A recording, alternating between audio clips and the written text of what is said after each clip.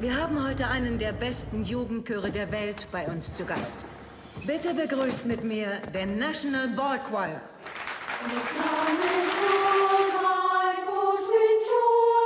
Mr. Cavell, das ist der Junge, von dem ich Ihnen erzählt habe.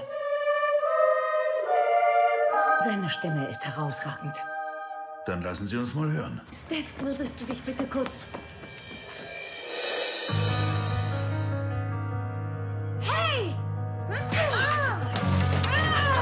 Sag noch einmal sowas über meine Mutter, Jimmy!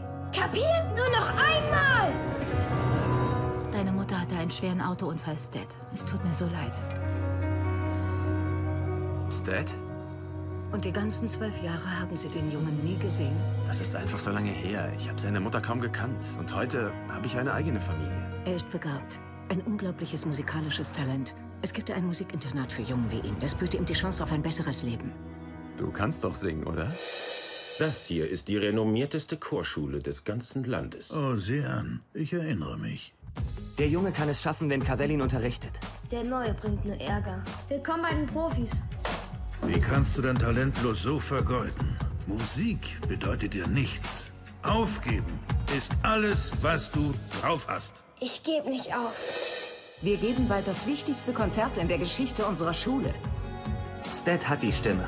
Mit ihm können wir alles singen. Deine Uhr tickt, Kleiner. Ihre Uhr tickt auch, alter Mann.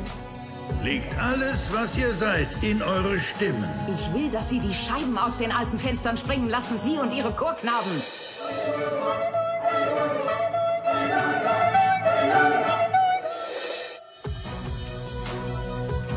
Manche von euch werden Tenöre, andere werden Baritone und einige vielleicht Zahnärzte.